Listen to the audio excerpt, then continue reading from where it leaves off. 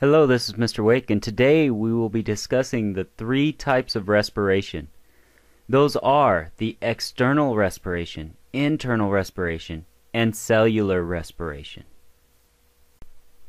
By the end of this video, you should be able to define external respiration, internal respiration, and cellular respiration. Also, by the end of this lecture, you should be able to describe external respiration in detail.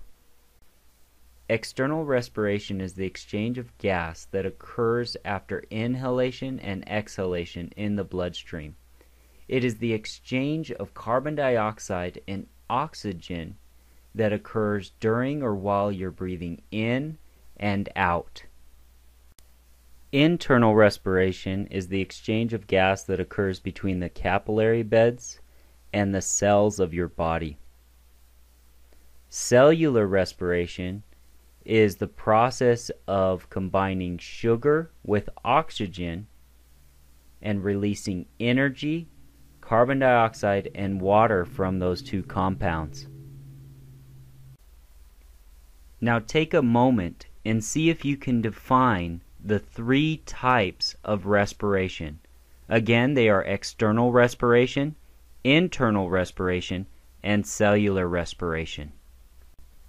Pause the video if you need more time. External respiration or ventilation occurs through the process of inspiration and expiration.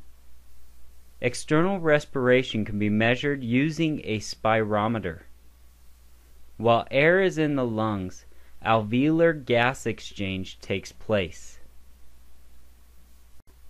Ventilation or breathing is the movement of air into and out of the lungs using your diaphragm and intercostal muscles that are around your ribs.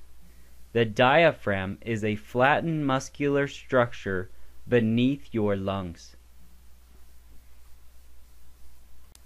During inspiration or inhalation, the pressure inside the lungs decreases due to the contraction of external intercostal muscles and the diaphragm, causing the atmospheric pressure on the outside of your body to be greater and the air pressure on the inside of your body to be less.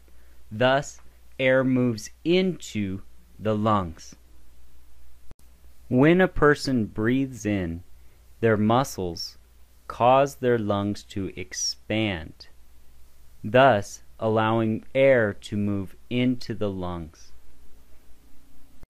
During expiration, the opposite process occurs.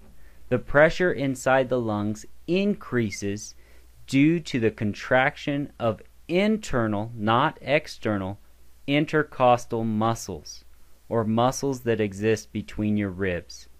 The relaxation of the diaphragm and the elastic recoil of the lungs tissue causes the atmospheric pressure to be less than the pressure inside of your lungs. So air moves out of the lungs.